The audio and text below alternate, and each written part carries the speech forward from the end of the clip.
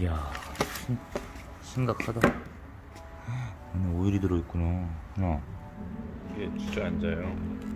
지나면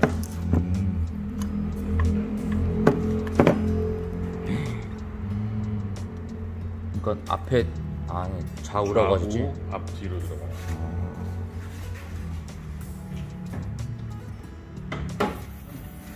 터졌네 터졌어 아예 박살났어요. 아까 같이 엔진 올라가 있는 상태에서 높이 차이가 꽤 나죠. 네 우와 그러네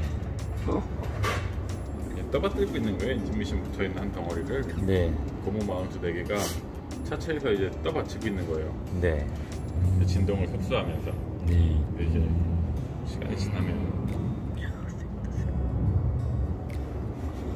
네, 이렇게 해가지고 그랜저 TG 엔진 마운트를 교체를 했는데요.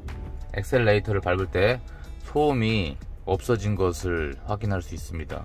마운트 교체 비용은 공임나라에도 제가 문의를 해봤는데 일반적으로 교체할 때와 또 다른 엠버라고 하나? 그거를 또 내리는 경우가 있대요. 이 차종은 마운트 교체 비용을 20만원으로 책정을 했거든요.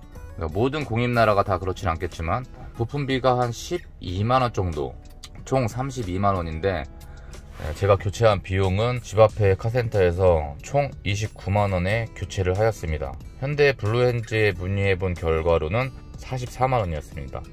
그러니까 블루핸즈 44만원, 공임나라 32만원, 제가 교체한 거는 29만원. 집 앞 카센터에서 단골이라고 할인을 많이 해주신 듯 합니다. 네, 그랜저 TG 엔진 마운트 교체 비용 29만원으로 정리하면서 오늘 영상을 마치겠습니다. 시청해주셔서 감사합니다.